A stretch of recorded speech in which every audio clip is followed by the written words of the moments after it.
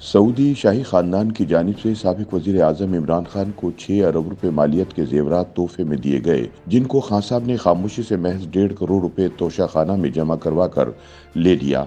यूँ रियासत मदीना बनाने की अनथक कोशिशों में मसरूफ खान साहब को पाँच अरब अट्ठानवे करोड़ और पचास लाख रुपए का मुनाफा हुआ।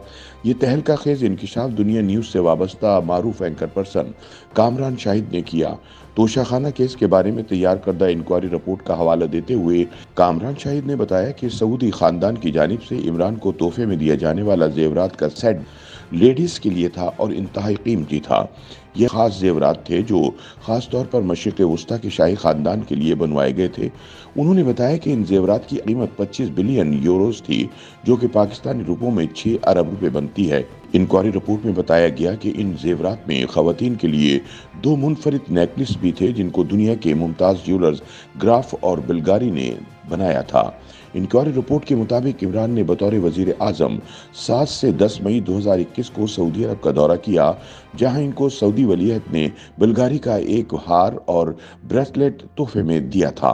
इसके अलावा इन जेवरात में एक सर पेंटी हीरे से जुड़ा हुआ ब्रेसलेट और हार भी था, जिसका वज़न 130 करात था। इन अनमोल और कीमती तरीन जेवरात की कीमत सैटेलाइट टाउन रावलपिंडी के एक नामालूम ज्वेलर से महज पाँच आशारिया नौ मिलियन रुपए लगवाई गई।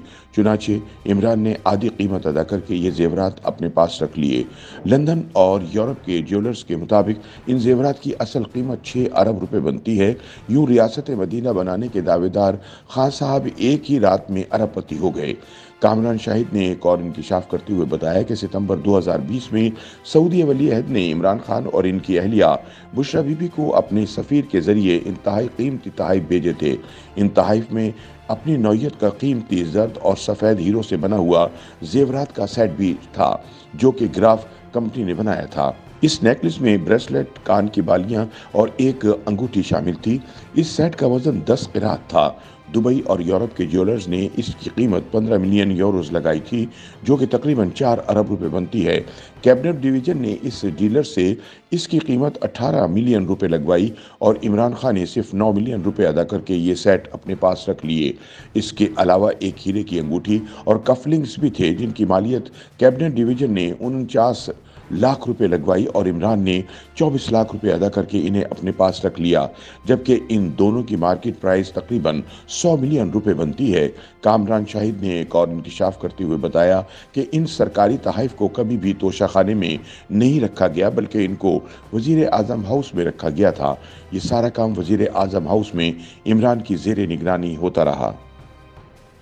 YouTube पर गूगली न्यूज़ देखने के लिए YouTube.com की सर्च बार में गूगली न्यूज़ टीवी टाइप करें। गूगली न्यूज़ के पेज पर सुर्ख रंग के सब्सक्रिप्शन वाले बटन पर क्लिक करना ना भूलिए। YouTube पेज पर अपलोड होने वाली वीडियो से बाखबर रहने के लिए बेल आइकन पर क्लिक कीजिए। आपको हर नई वीडियो के बारे में नोटिफिकेशन मौसू हो जाएगा।